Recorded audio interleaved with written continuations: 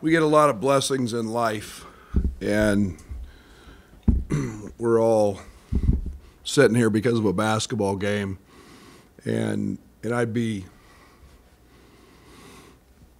remiss if there because there was something happened yesterday that's a lot more important, and, and Quincy didn't mention it, but it was the birth of his daughter with his fiance, uh, Natalia Rose is her name, and. Uh, you know, the blessings in life of having a child are pretty special. And so he was, he's been gone. He's been, you know, worrying about all of that. And, and uh, uh, so I did want to make sure that I, I mentioned that because I think that's pretty damn cool um, and, and pretty special to be, uh, to be a dad.